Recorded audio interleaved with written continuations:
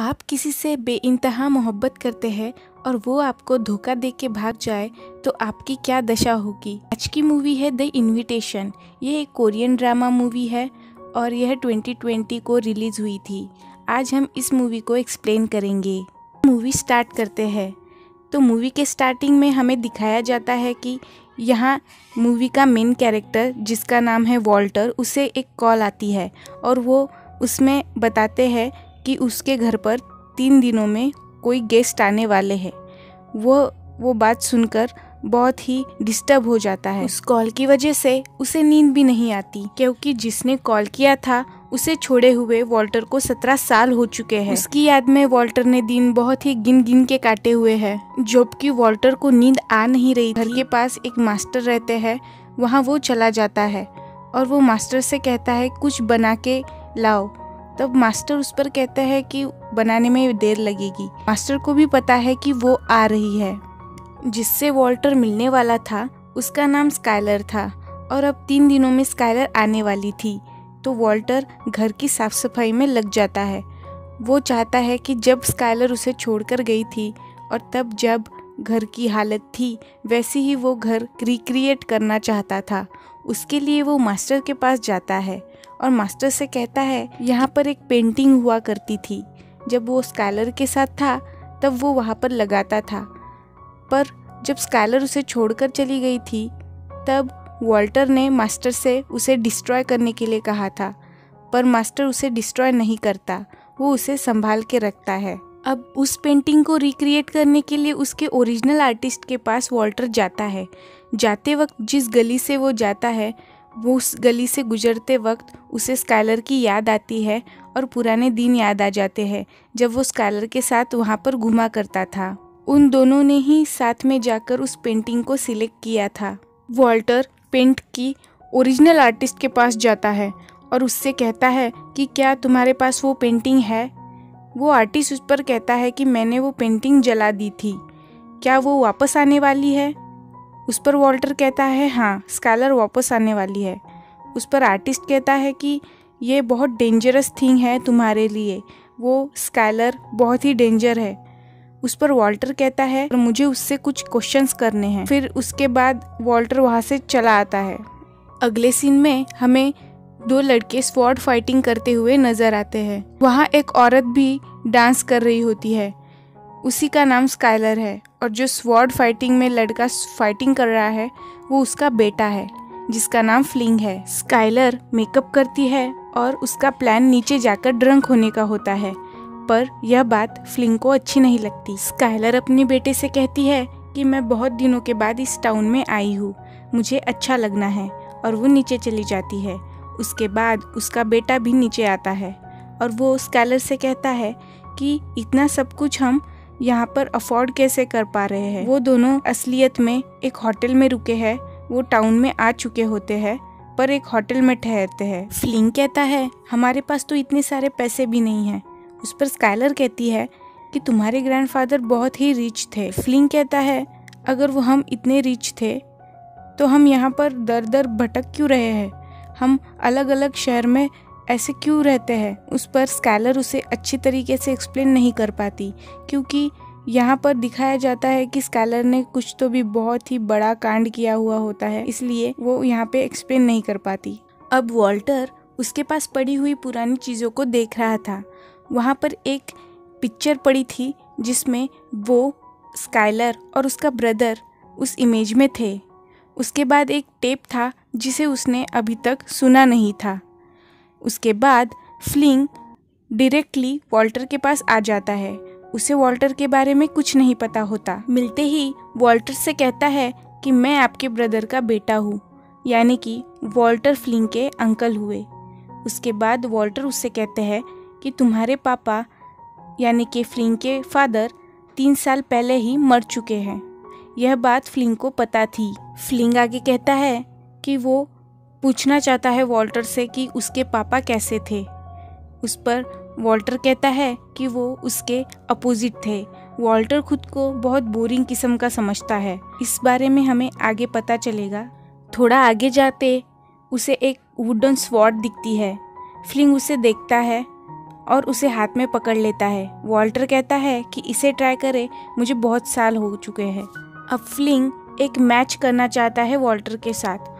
उन दोनों की फाइट में वॉल्टर जीत जाता है। वो फ्लिंग को हरा देता है।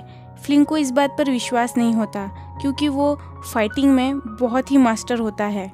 उससे भी अच्छा मास्टर वॉल्टर होता है। उसके बाद फ्लिंग वॉल्टर से कहता है कि तुम्हें मेरी मदर ने बहुत सारे लेटर्स लिखे, पर तुमने पढ़े नहीं। सच में वॉल्टर्स ने पढ़े नहीं होते हैं। और वो कहता है कि हम अलग अलग जगह पर घूमते रहे, हमने कभी भी स्टेबल लाइफ नहीं जी है। पैसे की कमी होने की वजह से हमें इधर उधर रहना पड़ता था। यह सब कुछ तुम्हारी वजह से हुआ है। अब मैं स्टेबल लाइफ जीना चाहता हूँ, इसी घर में और इसी शहर में। तो तुम यहाँ से चले जाओ। वॉल्टर उससे कहता है कि मैं अपने ही घर से चला जाऊँ, वहाँ पे सीन ख़त्म हो जाता है। उसके बाद फ्लिंग अपने होटल में वापस आ जाता है और उसकी माँ से कहता है कि मैं यहीं कहीं घूम रहा था। स्कैलर उससे पूछती है कि तुम कहाँ गए थे? उस पर वो बोलता है कि मुझे अब स्टेबल लाइफ चाहिए और मैं यहाँ वहाँ भटकना नहीं चाहता। यह बात उन दोनों में होती है। नेक्स्ट सीन में वॉल्टर को वो आर्टिस्ट पेंट भेजता है, जो उसने पेंटिंग मंगवाई थी। और उसके साथ एक लेटर भिजवाता है। उसमें वो लिखता है, मुझे आशा है कि जो भी तुम्हें क्वेश्चंस स्कॉलर से पूछने हैं, उसके जवाब तुम्हें मिल जाए। नेक्स्ट सीन में वॉल्टर एक दुकान में आता है, जहाँ वो क्रॉकरी लेने आता है। जैसे कि हमें पता है कि स्कॉलर से मिलने के लिए वो जैसा वो छोड़ के गई थी, वैसा ही घर रिक्रिएट करने वाला था। इसलिए वो सब चीज़ें वो घर में लाता है। अब वॉल्टर जिस दिन का वेट कर रहा था वो दिन आ चुका है। फाइनली वो स्कालर से मिलने वाला था। जब स्कालर आती है घर में, तब वो नोटिस करती है कि जैसे वो छोड़ के गई थी चीज़ें, वैसे की वैसी ही है। सब के सब वहीं पर। वो पेंटिंग को देखती है और कहती है कि ये पेंटिंग बहुत ब्यूटीफुल है, जो कि वो भूल चुकी थी। उसके बाद वो वॉल्टर से कहती है कि क्या मेरा बेटा यहाँ पे आया था? वॉल्टर कहता है हाँ। यानी कि वो फ्लिंग की ही मदर थी। अब यहाँ एक्चुअली में हमें पता चलता है कि क्या हुआ था। फ्लैशबैक में हमें दिखाया जाता है स्काइलर को फ्रैंक जो कि वॉल्टर का ब्रदर था, वो घर पर लेके आता है। वॉल्टर जब फ़र्स्ट टाइम उसे देखता है स्काइलर को, तभी वो ठान लेता है कि यही मेरी वाइफ बनेगी, क्योंकि Frank as a friend Skyler को घर पर लाता है। फ्रैंक वॉल्टर से बहुत ही अपोजिट था। फ्रैंक को म्यूज़िक पसंद था अलग अलग जगह पे घूमने जाना पसंद था। और वो बहुत ही एक्साइटिंग किस्म का इंसान था, जो कि बिल्कुल अपोजिट था वॉल्टर से। इसी वजह से स्काइलर उसे छोड़ के चली गई, ऐसा वॉल्टर हमें बताता है, ऐसा उसे लगता है। उन दोनों में एक अच्छी रिलेशनशिप डेवलप होती है। फाइनली वॉल्टर स्काइलर को शादी के लिए अप्रोच करता है। उन दिनों स्काइलर इवनिंग में वॉकिंग के लिए कहीं तो भी जाती थी। उसके बारे में वॉल्टर ने कभी उससे पूछा नहीं। वो कहाँ जाती थी वो उसे पता नहीं था। पर एक दिन जब वो फ्रैंक के रूम पे जाता है और देखता है कि वहाँ पर स्कैलर की इनरवेयर पड़ी है तब वो उसे पता चल जाता है स्कैलर और फ्रैंक का अफेयर है। अब हम प्रेजेंट में आते हैं। वॉल्टर स्कैलर से कहता है वो उसे टी के लिए पूछता है और कहता है कि जिस दिन तुम मुझे छोड़ के गई थी तुमने जो मुझे टी पिलाई थी ये वही टी है। अब इसी सीन को हमें फ्लैशबैक में दिखाया जाता है। जहाँ स्काइलर वॉल्टर को टी पिला रही होती है। वॉल्टर टी पीने ही वाला होता है।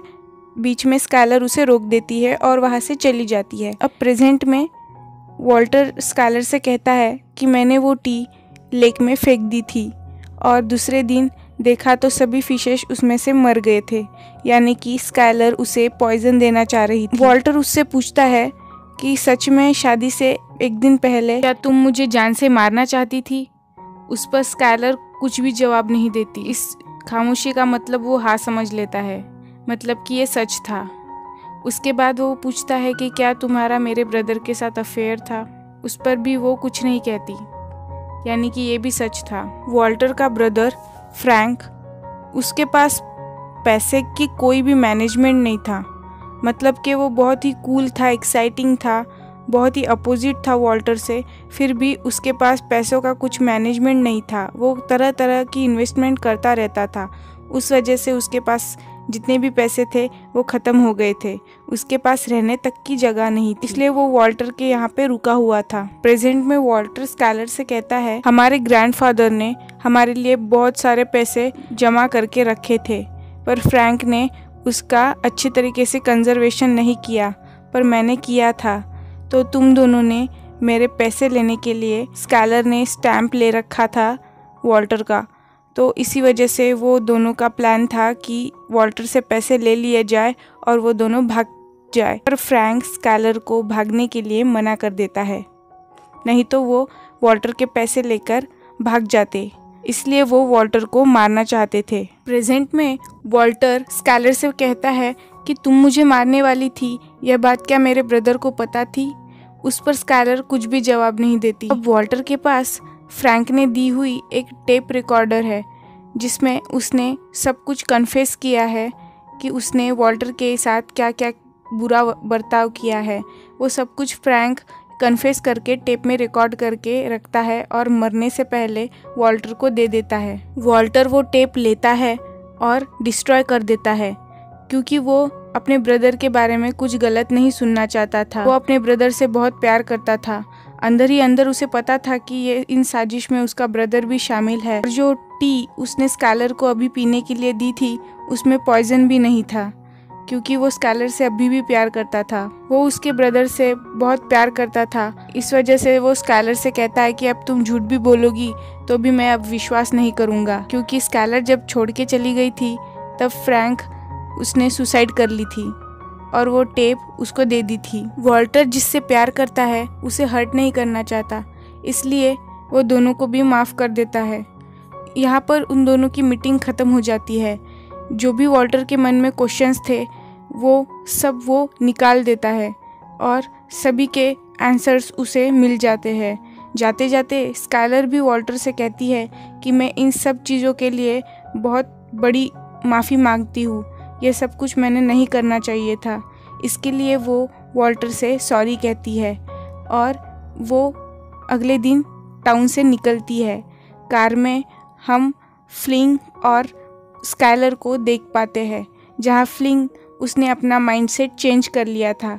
वो जहाँ इस सिटी में स्टेबल रहने की बातें कर रहा था, पर वो अपनी माँ को भी नहीं छोड़ सकता था। अब यहाँ हमें पता चलता है कि स्काइलर फ्रैंक और वॉल्टर को छोड़ के क्यों गई एक्चुअली में वो प्रेग्नेंट थी और वो किससे प्रेग्नेंट थी वो उसे पता नहीं था। वो वॉल्टर को मारने वाली थी पर उसे पता नहीं था कि वो किसका बच्चा है, इसलिए वो छोड़ देती है। वॉल्टर भी उससे प्यार करता है, इसलिए वो पैसे लेकर छोड़ देता है। रात में वॉल्टर को एक कॉल आती है जिसमें होटल का मैनेजर उससे कहता है कि आपके वाइफ और बेटे का यहाँ पे रहने का जो बिल है, वो आपको पे करना पड़ेगा। यह बात सुनकर वॉल्टर को ऐसा लगता है कि फ्लिंग उसका ही बेटा है। यह बात उसे तब पता चलती है और उसके चेहरे पर एक स्माइल आती है। उसको एक हैप्पीनेस मिल जाती है। यहीं पे मूवी का एंड हो जाता है। अगर आपको ये एक्सप्लेनेशन वीडियो अच्छा लगा हो तो please like my video subscribe this channel मैं अलग अलग मूवीज़ लाती रहती हूँ। Please don't forget to subscribe okay तो मिलते हैं अगले वीडियो में।